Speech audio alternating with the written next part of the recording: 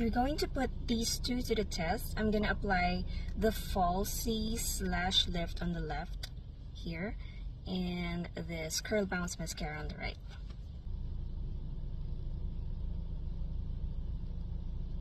Just one coat each.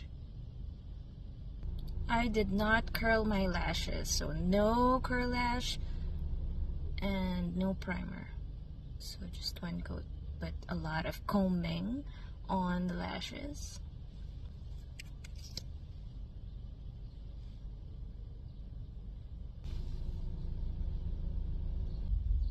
I think the brush of the curl bounce is curvier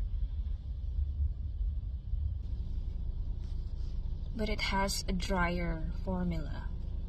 I think that the curl bounce is just the Falsies Lash Lift, but it just curls it up. Like it holds the curl when you push your lashes with the wand. This one is also th thick, right?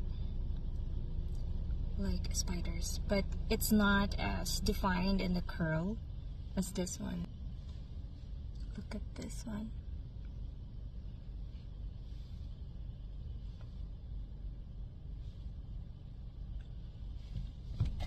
So I have some mess over here, but that's fine.